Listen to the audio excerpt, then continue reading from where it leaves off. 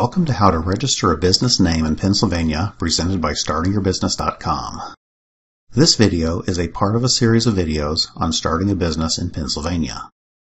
After deciding on the legal entity of your business, it's time to decide on a name. While it's not required, we would recommend checking to see if there is a trademark protecting the name you want to use. Here's a quick guide on how to check. First, go to the United States Patent and Trademark Office at uspto.gov. When you get to USPTO, click on Trademarks. You can learn more about trademarks here, but to search names that are currently trademarked, click on the Search Trademark database. Next, click on the basic wordmark search. In the search term field, type in the business name you want to use. In this example, let's enter Mr. Handyman and click Submit.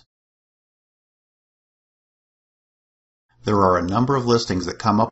There are a few causes of concern that would likely want you to have a legal professional review before register your name.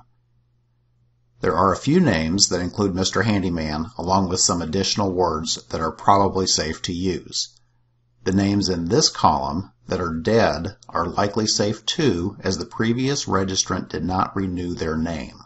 Now, here is a live listing for Mr. Handyman to be concerned about. You can click on that listing to see more information.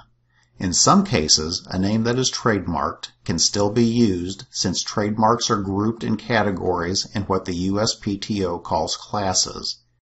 In this example, Mr. Handyman is registered under Home Repair and General Maintenance Services within the Goods and Services category. You could potentially register Mr. Handyman if your business operated outside of Home Repair and General Maintenance Services. If you do a search and the name you want is registered, you may want to consider getting professional help. If you don't, you may invest a lot of time and money establishing a business name that you may have to later abandon.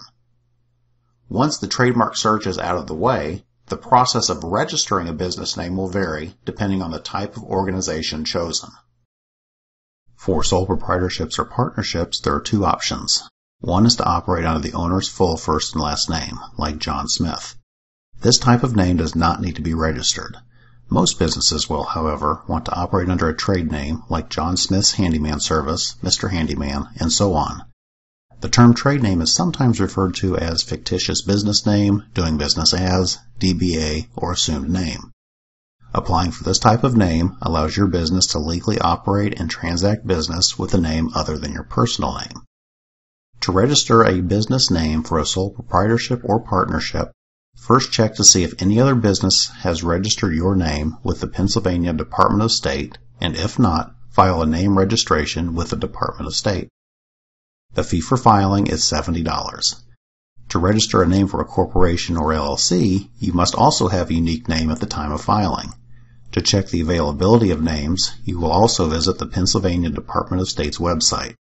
Just like the sole proprietorship and partnership, while nobody else can form a corporation or LLC with your business name in Pennsylvania, someone else could still legally use your business name. Regardless of which entity you use to register your business name, registering does little to stop anyone from using your name. To keep others from using it, consider getting a trademark.